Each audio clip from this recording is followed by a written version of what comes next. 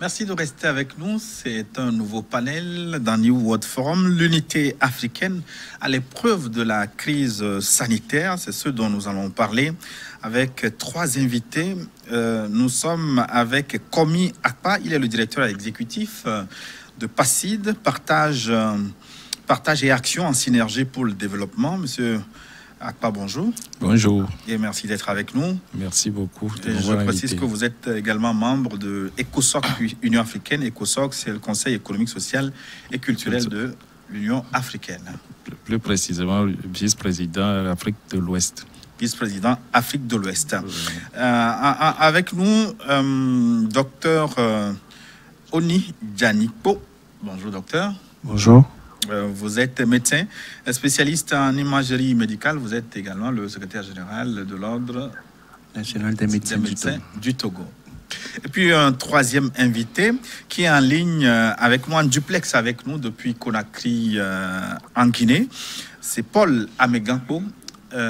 Monsieur Megako, bonjour. Bonjour. Vous êtes le représentant résident de NDI Guinée, NDI qui est, on va dire, une fondation américaine qui intervient dans beaucoup de pays, notamment africains, pour le renforcement de la démocratie et de la bonne gouvernance. Bonjour à tous les téléspectateurs. Euh, c'est un réel plaisir de participer à ce débat euh, sur les enjeux de Covid-19 par rapport euh, à l'Afrique et à l'aune de l'unité africaine. Merci, Paul Amegampo. Alors, pour commencer, je voudrais comprendre, hein, en fait, on parle de continent africain, des Africains, mais est-ce qu'il s'agit d'un seul peuple? Est-ce qu'il y a un trait d'union entre les différents peuples africains aujourd'hui pour qu'on veuille évoquer nation quand on parle d'Africains? Je commence avec vous, Monsieur Akbar. Oui, merci beaucoup, Gilles. Euh, cette question, elle est euh, complexe. Est-ce qu'il y a plusieurs peuples? Tout le monde ici sait qu'il y a plusieurs peuples en Afrique. Même au Togo, il n'y a pas un seul peuple. Donc, il y a plusieurs peuples en Afrique. Mais est-ce qu'il y a des traits d'union entre nous? Bien sûr, il y a des traits d'union entre nous. C'est ça d'ailleurs qui fait que nous devons être ensemble. Euh, les peuples africains vivent sur un, seul même territoire qui est le continent africain. Donc l'Afrique nous regroupe tous et tous ces peuples ont fait presque les mêmes expériences, ont connu les mêmes histoires par le passé. Ces peuples, à quelques exceptions près, ont tous connu euh, l'esclavage, ont tous connu la colonisation et vivent à des degrés divers euh, le, néocolonialisme aujourd'hui. Et donc, ces peuples euh, sont confrontés au problème de leur développement, mais dans un environnement qui est extrêmement complexe. À partir de ce moment, il y a des enjeux qui les lient, et ces enjeux les amènent à, être ensemble à, ne pas aller euh, chercher à s'imposer au monde individuellement, euh, isolément. Parce que comme je le disais, ces peuples ont connu la colonisation et vous savez très bien que la colonisation a balkanisé l'Afrique. Aujourd'hui, les peuples se développent dans un contexte mondialisé où ils font face, ils, sont, euh, ils, font face à d'autres parties du continent. Euh, bon, comment, l'Amérique du Nord, l'Amérique euh, latine, l'Europe, l'Asie, avec des, avec des, locomotives comme la Chine, le Japon, etc. il est extrêmement difficile aujourd'hui pour les peuples africains de vouloir aller s'imposer sur l'arène internationale isolément. Et c'est là la raison principale qui les pousse à vouloir se mettre ensemble et à pouvoir harmoniser un certain nombre de normes et à pouvoir agir d'une seule voix, même dans leur pluralité. Hmm. Paul Amengampo, est-ce qu'on doit parler de l'Afrique ou des Afriques vu la diversité euh, qui caractérise ces différents peuples? Est-ce que c'est un, abus de langage de parler de peuples africains? Ne doit-on pas plutôt dire des peuples africains?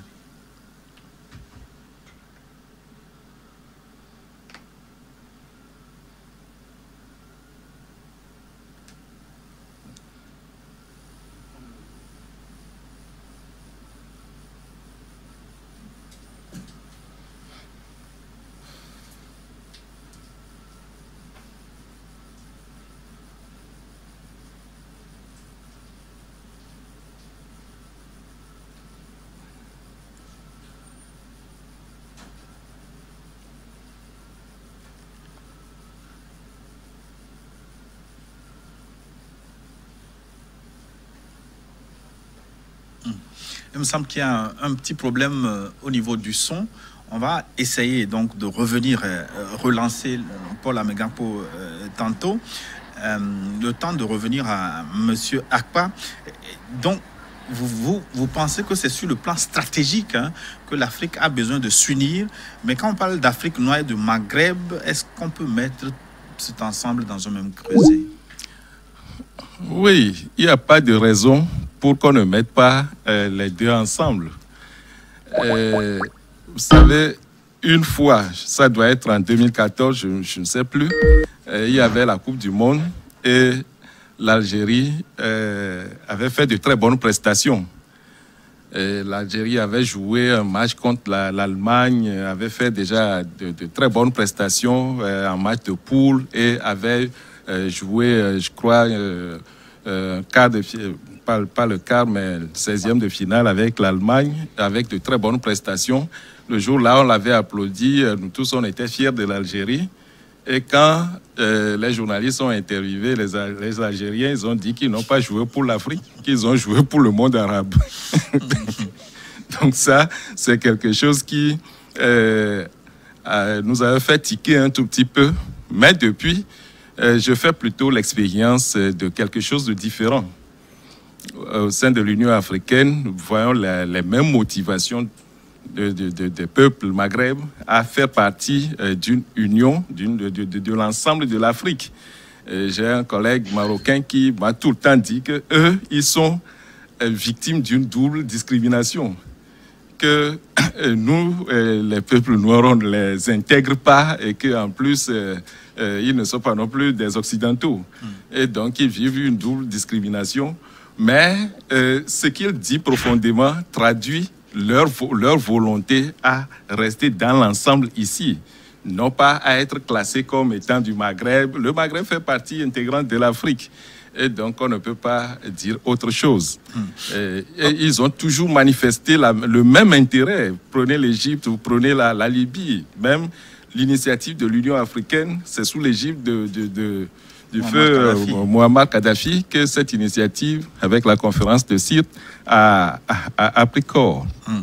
On, va, on va retenter la liaison avec Kourakri pour voir si le problème de son est réglé avec Paul Amegampo. Paul, j'étais en train de vous demander si ça convenait de parler de peuples africains ou des peuples africains. Cette unité culturelle, cette identité collective, est-ce qu'elle existe ou c'est un abus de langage?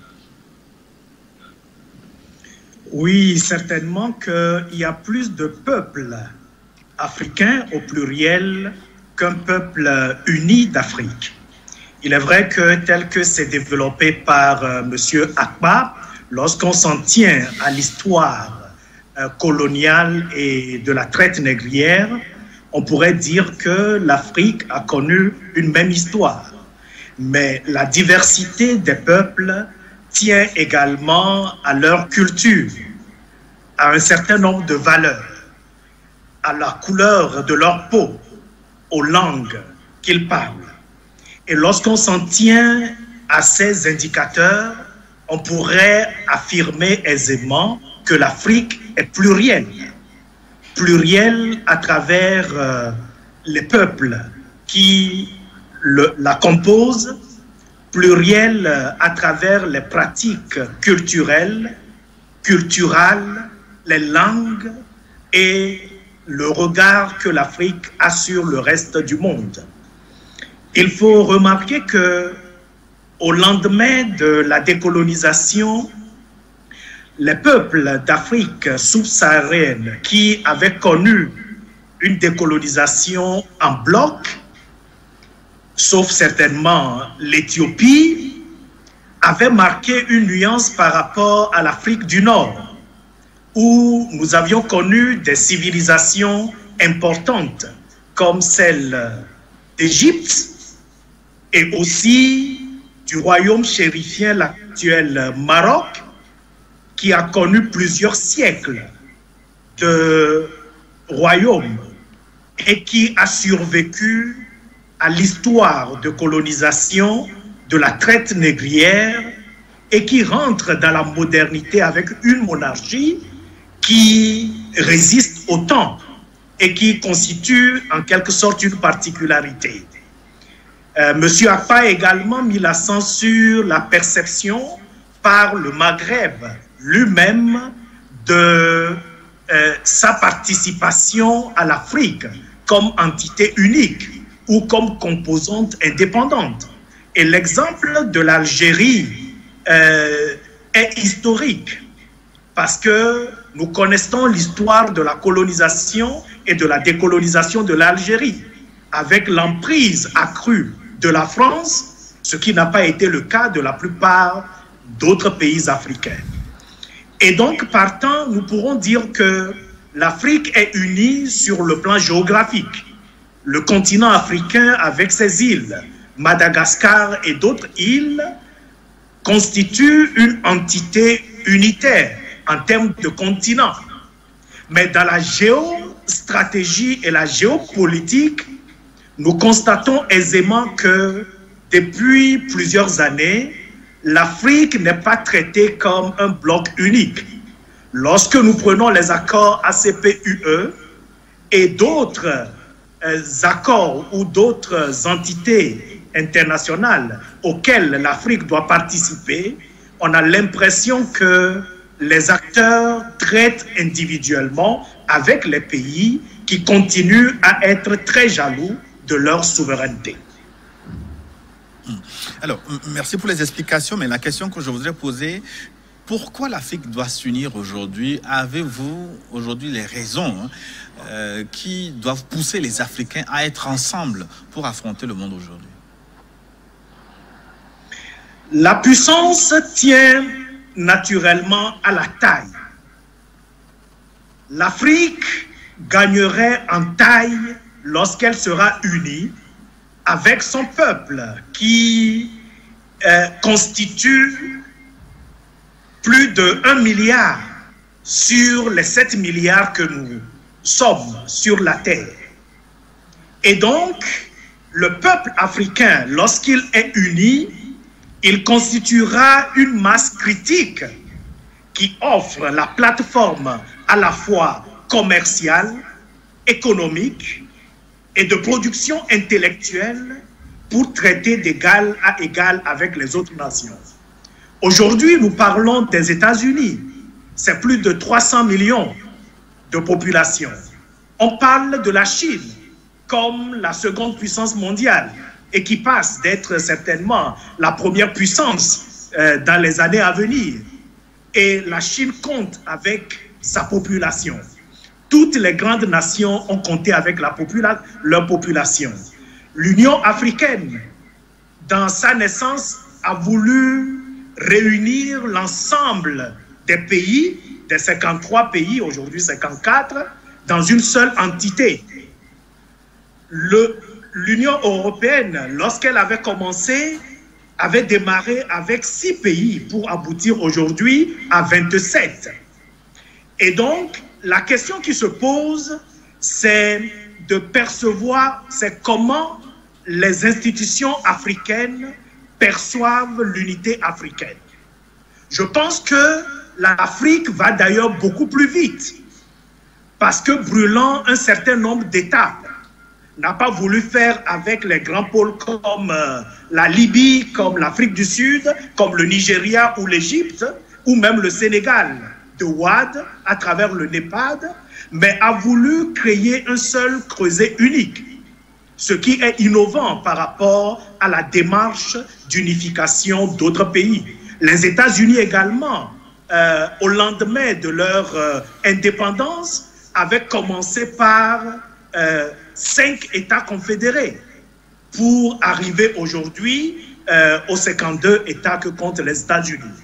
Et donc, sur cette question, nous pourrons dire que la taille en Afrique est un paramètre important pour faire entendre la voix du continent dans le concert des nations. Et l'Afrique semble aller à son rythme, mais certainement elle est bien partie en faisant en sorte que tous les 54 États qui la composent se retrouvent dans un seul creuset qui est l'Union africaine. Comme il n'y a pas, est-ce que cette nécessité de s'unir est comprise sur le continent par les peuples et par les dirigeants? Par les dirigeants, je commence par là, je peux dire que oui, parce que aujourd'hui, il n'y a pas un seul État africain qui ne soit pas membre de l'Union africaine. Donc tous sont là.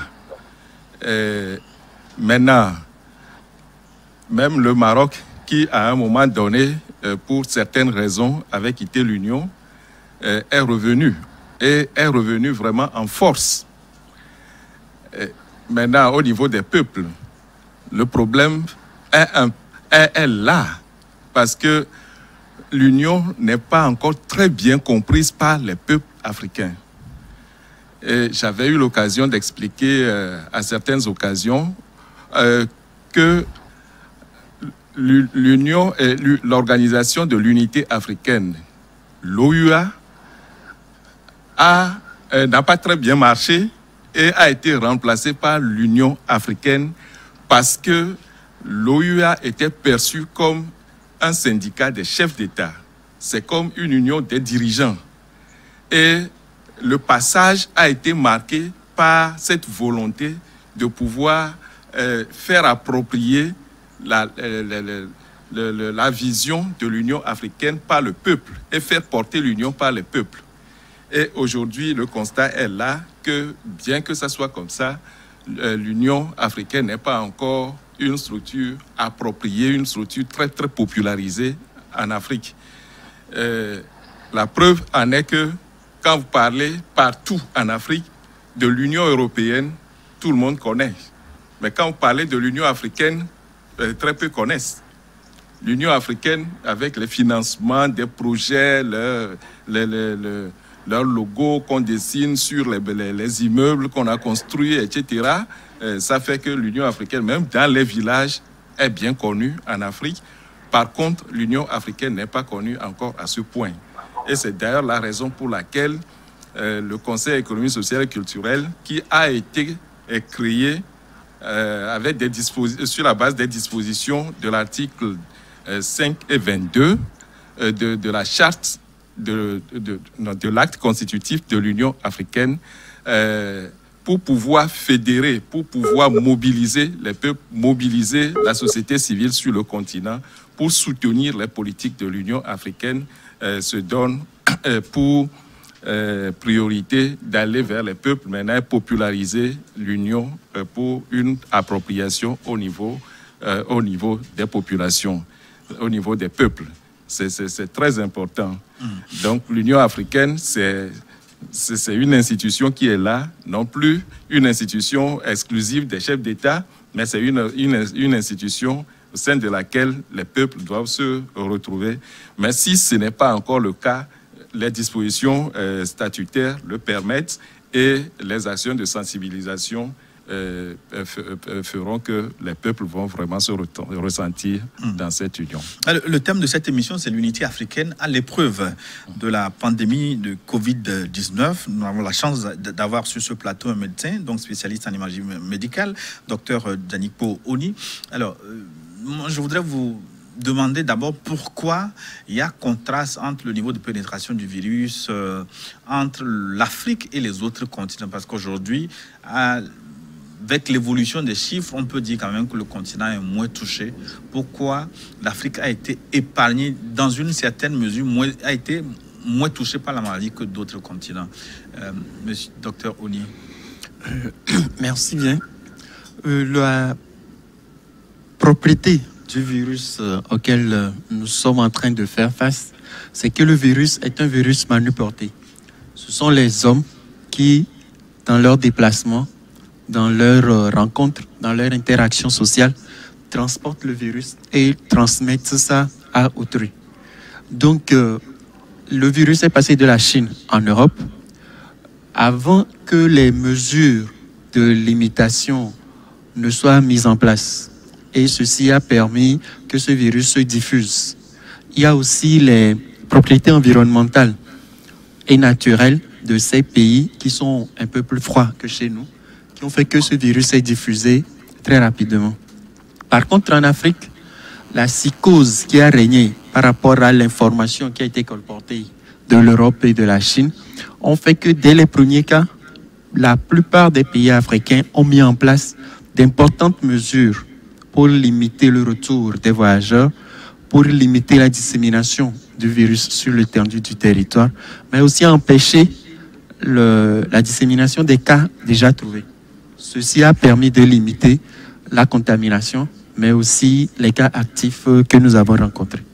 Et sur le continent, entre l'Afrique du Nord, l'Afrique du Sud et le reste du continent, il y a également un contraste. L'Afrique du Sud, le Maghreb, par exemple, sont plus touchés que les autres pays. Qu'est-ce qu'il explique? Oui, Il faut reconnaître que l'Afrique du Nord, principalement, est une zone à fort tourisme. Les gens y vont pour des raisons de santé, pour des raisons de vacances, pour des raisons de famille, pour euh, prendre le temps. Les vols sont très importants dans ces, dans ces zones-là, ce qui fait que les déplacements d'Européens surtout ont été forts en Afrique blanche. L'Afrique du Sud est une zone commerciale, comme vous le savez, et là aussi, il y a des transactions qui se font et qui nécessitent que des gens puissent aller là-bas à tout moment. Voilà aussi un effet important qui a fait que le nombre de cas importés en Afrique blanche et en Afrique du Sud est très important par rapport aux autres cas en Afrique de l'Ouest et en Afrique centrale. Hum. Alors, on va revenir donc à, notre Afrique. Euh, la problématique de l'unité africaine avec euh, Paul Amegapo depuis Conakry en Guinée. Vous sembliez être optimiste tout à l'heure en ce qui concerne euh, la capacité de l'Afrique à s'unir, mais pour le moment, ce qu'on remarque, c'est une forte division entre les peuples et les nations, avec les pays qui se referment sur eux avec euh, la pandémie du coronavirus. Mais la question que je voudrais vous poser, les facteurs de division du continent sont-ils à rechercher à l'intérieur du continent ou à l'extérieur? Les germes de division, d'où viennent-ils les, les ça vient d'où? De l'intérieur ou de l'extérieur? Oui, nous pourrons souligner que les facteurs euh, de division du continent sont beaucoup plus des facteurs euh, endogènes. Il est vrai que l'histoire euh, du monde est connue par le choc des rapports de force, le choc des civilisations, le choc des intérêts mercantiles, mais les pays ou les nations ou les continents qui subissent ces chocs sont des entités qui ont déjà des fragilités intérieures euh, propres à elle-même. Et donc, l'Afrique, certainement, euh, n'est pas très préparée pour faire face à certains chocs. Covid-19 que nous vivons actuellement pourrait être considéré comme une pandémie de la mondialisation. Parce que lorsqu'on analyse un peu les flux de transmission, on comprend tout de suite que les pays qui sont plus ouverts sur l'extérieur ont été des pays les plus impactés. Les premières décisions des grandes nations, c'est de fermer les frontières, les États-Unis vis-à-vis de, de l'Europe et vice-versa. Et lorsque nous prenons l'Afrique, on remarque que l'Afrique du Sud et le Maghreb, qui ont des rapports commerciaux beaucoup plus développés et des échanges beaucoup plus permanents avec le reste du monde, euh, sont beaucoup plus impactés.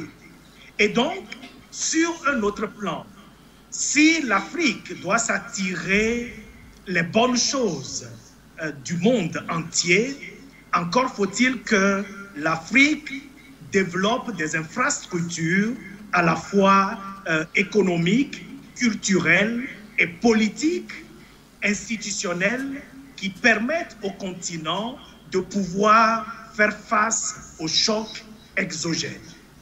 Nous avons connu dans l'histoire récente du continent beaucoup d'initiatives.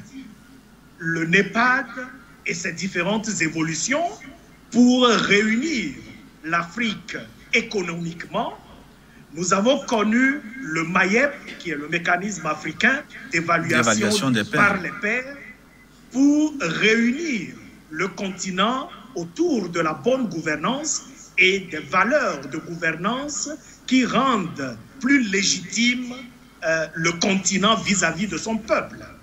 Mais où sont-nous actuellement avec ces différentes initiatives? Elles ont connu de diverses fortunes, mais le constat est que la construction est encore euh, progressiste, mais que l'élan est assez lent, qu'il ne permet pas de viser les impacts aujourd'hui. L'Union africaine, sinon l'Afrique, pourrait mieux faire face euh, à ces chocs exogènes si l'agenda 2063 réussit à être traduit dans des actes concrets que les populations peuvent saisir au niveau local, au niveau national, au niveau des regroupements sous-régionaux comme la CDAO et les autres, afin de créer des blocs solides sur les dimensions culturelles, économiques, politiques et aussi pour faire face justement à la représentativité du continent comme entité respectable au sein du concert des nations, surtout aux Nations Unies. Et donc aujourd'hui, on regrette le fait que plus de 60 ans, sinon 70 ans après la création des Nations Unies, l'Afrique n'est pas représentée au sein du Conseil de sécurité, où se décide la sécurité mondiale. Et nous savons les différentes tribus que l'Afrique a payées à travers les guerres d'intérêt d'autres puissances. Et donc aujourd'hui, nous pourrons dire qu'il est inévitable d'empêcher les chocs exogènes d'impacter notre continent, mais ce qui est évitable, c'est que l'Afrique ne se prépare pas pour suffisamment et en toute responsabilité faire face à ces chocs. Hmm. Alors, euh, Monsieur Arpa, Paul Amegapo a évoqué hein, le poids des pesanteurs endogènes. Mais en ce qui concerne les Africains, eux-mêmes, ils évoquent souvent le rôle néfaste de l'étranger dominateur hein, qui tente de damer ses pieds encore au continent africain. Quel est le poids euh, de ce que les anciennes puissances font sur le continent pour semer la division entre les peuples Oui. Le problème, là où c'est encore plus complexe, c'est que vous ne pouvez pas aujourd'hui euh, isoler euh, les facteurs externes des facteurs endogènes. Vous ne pouvez pas isoler leurs effets. Parce qu'il y, a des choses qui se passent à l'intérieur, mais manipulées de l'extérieur. Et donc, c'est là où c'est extrêmement complexe. Parce que les enjeux mondiaux sont tels que c'est les plus forts qui arrivent à tirer leur épingle du jeu, mais ceci en se basant sur aussi le fait qu'il euh, peut piller, euh, exploiter les ressources des plus faibles. Et ça, c'est aussi euh, une problématique bien connue. Et donc, euh, c'est les mêmes qui vont appuyer, par exemple, des régimes euh, qui vont devenir finalement impopulaires, euh, et ceci pour pouvoir négocier leurs contrats euh, commerciaux. et donc, il y a tout un tas de complexité dans ces affaires. Maintenant, ce que je voudrais dire, c'est que l'Afrique aujourd'hui s'organise. J'étais un peu fier, sans faire de l'autosatisfaction, quand je suivais une vidéo euh, il y a quelques semaines, euh, les, Européens, je crois qu'ils étaient sur euh, France 24, ils discutaient de, de l'impact du Covid-19 en Afrique et ils reconnaissaient qu'ils ont prévu le pire, mais que l'Afrique se débrouille beaucoup mieux que ce qu'ils ont pronostiqué. Et je dis, et ils, ont, ils sont allés même loin pour dire que l'Afrique d'aujourd'hui n'est plus l'Afrique qu'ils ont connue il y a dix ans environ. Je, dis, s'il y a des choses qui, qui, qui, qui, changent quand même, il y a des choses qui évoluent. Le pas, comme, euh, comme Paul l'a dit tout à l'heure, le pas est un peu lent, le rythme est lent, mais il y a des choses qui se font et continuent de se faire. Parce que pour peser euh, sur les, décisions au niveau mondial, l'Afrique doit s'organiser et quand on voit un peu ce qui se fait, au niveau de, de, l'Union africaine, on, a de bonnes raisons de, de dire qu'il y a des choses intéressantes qui se font.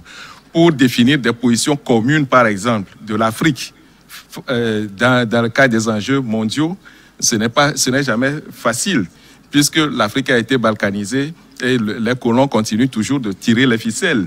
Et donc, euh, chaque, euh, chaque État qui veut prendre une position, il y a son colon qui est aussi, son ancien colon qui est là, qui, qui dit ça choque nos intérêts, etc. etc. Ce n'est pas toujours facile. Mais en même temps, l'exemple devons... de la Libye aujourd'hui qui est déchiré entre la Turquie, la Russie, euh, oui, puissance. Oui. Et, et, ça, souvent, ça arrive même, quelle que soit la position de l'Union africaine sur le sujet. Et malheureusement, elle n'a pas parfois de position sur le sujet. C'est ce qui a condamné. Non, euh, l'Union africaine a finalement une position sur, la Libye. Avant, il n'y en avait pas. Quand, quand l'évasion a eu lieu, il n'y en avait pas. Mais maintenant, il y a une position euh, sur, la Libye. Et normalement, euh, tout ce qui se fait là ne devrait plus se, se faire comme ça. mais ce que l'Union africaine essaie de faire maintenant, et ils ont commencé à concrétiser à partir du dernier sommet euh, de février, c'est de mettre en place une force africaine. Et cette force africaine euh, va donner la, la, capacité, une capacité d'intervention à l'Union dans, dans, dans, des États où il faut mettre de l'ordre. Hmm. Et ça, c'est quelque chose de bien à considérer. Sinon, juste pour, pour, pour apaiser euh, bon ami Paul c'est que le, le MAEP et euh, le, NEPAD. continuent. Même au dernier sommet, c'est au dernier sommet que les statuts du MAEP ont été adoptés. Et donc maintenant, ils ont un cadre euh, qui leur permet de pouvoir euh, travailler un peu plus. Maintenant, comme il a dit, la fortune dans les différents pays est, est, diverse. Mais nous devons encourager ces, pas qui sont en train d'être faits euh, pour que ça aille encore plus loin. Oui, Monsieur Amakakou va vous répondre tout à l'heure. Le temps de demander euh, à Dr Roni euh, pourquoi ils n'ont pas pris davantage, hein, euh, comment je vais appeler ça, ils n'ont pas renforcé leur audace pour prendre le pouvoir à l'issue de cette pandémie sur le continent africain? Pourquoi je le dis? Il y a eu une initiative malgache, par exemple le Covid Organics, qui semblait-il avait quelques résultats sur le traitement de la maladie. Mais on n'a pas vu beaucoup d'Africains soutenir cette initiative. On a vu même certains rire du coin des lèvres. Euh, un, deux soutiens du Sénégal, de la RDC. Mais comment les Africains devaient s'approprier euh, cette découverte-là, moi, je ne l'ai pas vue. Euh, le problème du Covid organique est un problème plus gros et plus entier. Peut-être qu'il faut commencer par féliciter les chefs d'État de la sous-région ouest-africaine qui, à un certain moment, se sont dit qu'ils ne pourront pas faire face au Covid-19 euh, individuellement et qui ont mis en place un creuset dirigé par le président Bouhari pour euh, prendre les décisions qui sont au niveau ouest-africain et qui devraient normalement s'appliquer à chaque pays, même si pour le moment ce n'est pas encore ça. Même chose pour l'OAS, qui est une organisation vérifiant la santé en Afrique de l'Ouest, qui essaye de prendre position pour dire ce qui doit être fait dans chaque pays. Et ces directives sont véhiculées dans toute la sous-région et on espère que c'est suivi. Les ministres de la Santé ont emboîté le pas et on font de même le ministre de la Santé et de, l'Hygiène publique du Togo est parmi les leaders de cette initiative. il est lieu de le, euh, de le dire. Par contre, pour le Covid organique, le réel problème, c'est que le Covid organique ne vient pas d'une autorité scientifique. Non, l'annonce est venue du président malgache, mais c'est l'Institut malgache, l'Institut scientifique qui a homologué le médicament. Oui, on, on en parle. Mais vraiment, véritablement, on se pose la question si l'homologation a été vraiment faite par l'Institut scientifique. Le problème, c'est que en matière de Covid organique, les connaisseurs parlent peu. Et comme tout le monde a le niveau d'information ou de d'établissement de vidéos sur Facebook, on écoute tout et rien à la fois. Au fait, actuellement, on n'a pas beaucoup de choses pour autoriser une utilisation du Covid organique à l'échelle africaine. Le contenu de la bouteille du Covid organique, la stabilité du procédé qui est proposé, l'utilisation qui a été faite à Madagascar avec euh, les résultats qui ont été obtenus. Comment est-ce qu'on fait pour transporter le Covid organique et pour le stocker Est-ce qu'on pourra répliquer le Covid organique dans un autre pays dans l'État africain? C'est beaucoup de questions qui n'ont pas été résolues jusqu'à maintenant parce que, entre guillemets, on a peur que le Covid organique soit repris par un autre pays et que ça ne soit pas la propriété de Madagascar. Mais pour le président malgache, le problème de Covid organique, c'est parce que c'est sorti d'un pays africain. Vous pensez qu'il a exagéré? Euh, ce n'est pas beau de le dire, mais il traite un problème scientifique sur le plan politique. Ah, c'est à peu près ça. Bon, chaque État étant souverain, il préfère garder ce qui est pour lui. Mais en science, on ne garde rien. Dès que vous mettez en place quelque chose là et que vous voulez que la chose soit connue, le principe de base est d'en dire de manière claire à tout le monde comment est-ce que ça a été fait, comment est-ce qu'on pourrait le faire et quelles ont été vos difficultés. Mais dès que vous dites que ça marche chez moi et que ça devrait marcher chez l'autre, en science, il y a peu de personnes qui peuvent vous faire confiance. Paul Amegapo, euh, face au Covid-19, est-ce que l'Afrique a manqué de formuler une réponse euh, commune? Non, en principe, l'Afrique n'a pas manqué de formuler une solution commune parce que c'est une pandémie. Et la question que nous devons nous poser, c'est comment est-ce que la voix de l'Afrique se fait-elle entendre au sein de l'Organisation mondiale de la santé? Parce que par-dessus tout, ce que nous voulons, c'est d'avoir une gouvernance mondiale qui soit à l'écoute des peuples et qui euh, propose des solutions qui répondent effectivement aux aspirations des différents peuples. Et donc, malheureusement, ce que nous constatons, c'est que la voix de l'Afrique ne compte pas suffisamment euh, au sein de l'Organisation mondiale de la santé. Nous avons parlé tantôt de nos valeurs et de nos cultures qui constituent le soubassement, sinon le terreau même euh, du sentiment panafricain. Et nos cultures nous ont montré que euh, l'Afrique consomme les tisanes. Nous consommons les produits issus de la nature pour nous traiter. Et donc, aujourd'hui, la solution africaine qui semble être proposée pour le monde entier, c'est comment recourir à la nature pour régler des problèmes importants euh, liés à la santé comme Covid-19.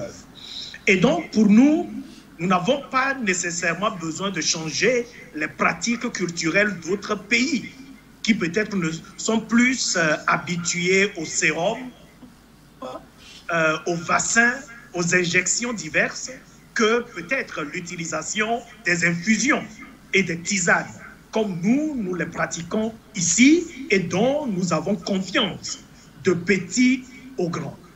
Et donc, ce que nous pensons, c'est qu'à travers cette pandémie, l'Afrique fasse une mutation importante.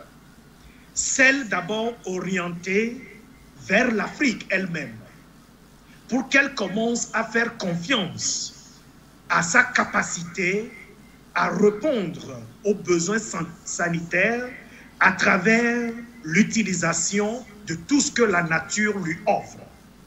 Et cette mutation doit obliger également la communauté scientifique africaine à commencer à établir des processus et des protocoles d'homologation de nos produits endogènes.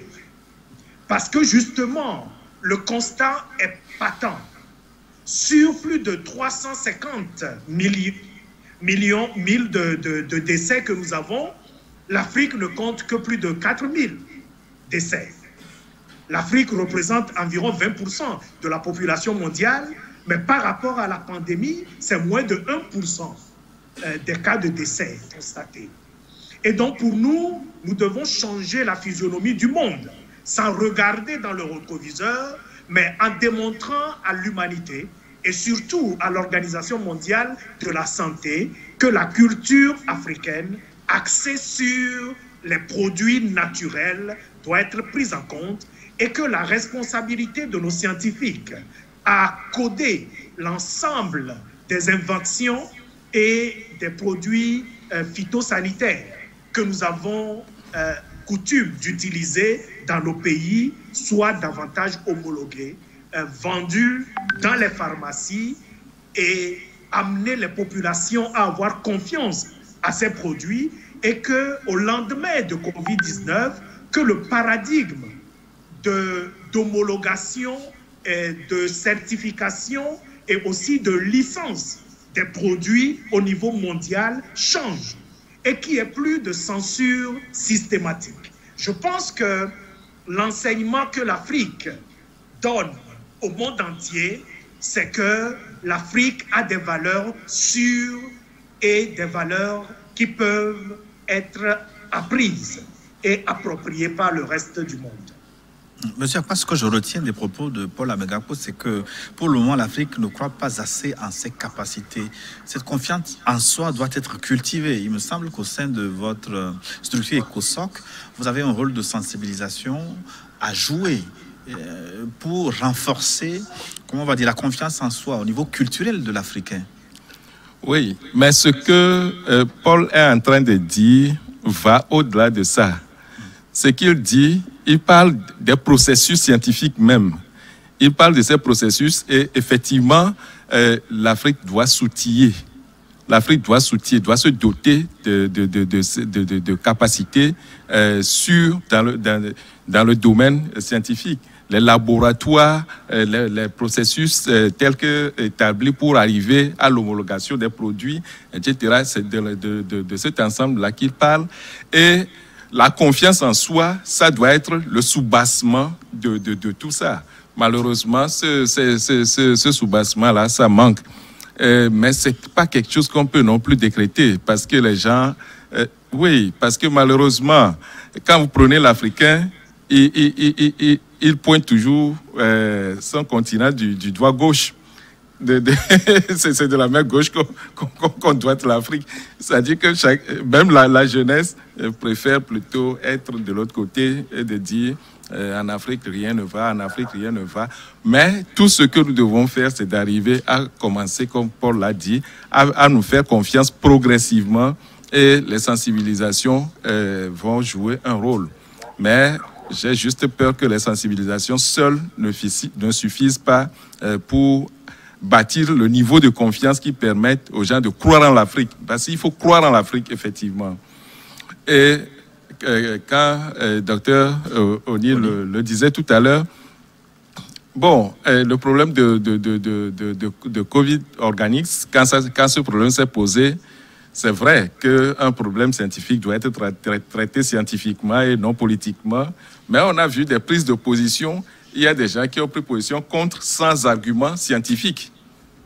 Des, gens ont pris des, des, positions contre le Covid organique sans que ça soit, sans que leur position soit basée sur des arguments scientifiques. Ce manque de solidarité n'est pas une bonne chose.